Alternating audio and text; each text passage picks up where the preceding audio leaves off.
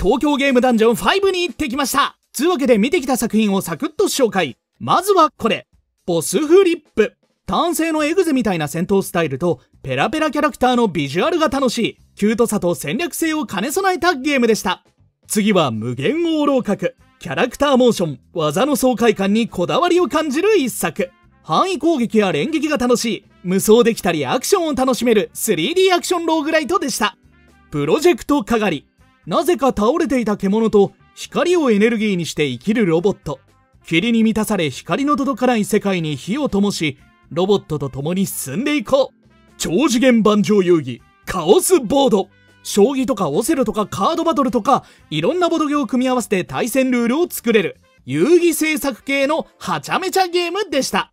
ミュゼットと猫耳の歩兵隊、ハードめな戦争もの世界観と動物耳の生えたキャラクターのマッチする戦略シミュレーションゲーム。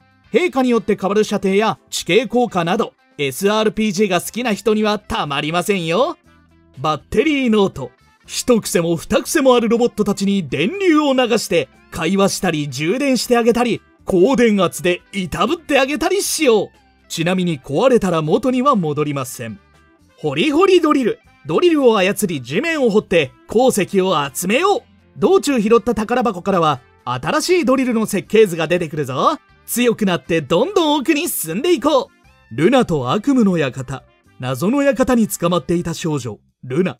彼女にひどいことが起きるとシーンごとに違うイラストが見られる。可愛いかわいそうな脱出ホラーでした。他にもたくさんゲームが展示されていました。ハッシュタグ、東京ゲームダンジョン5で調べて、いろんな作品を見つけに行ってくださいね。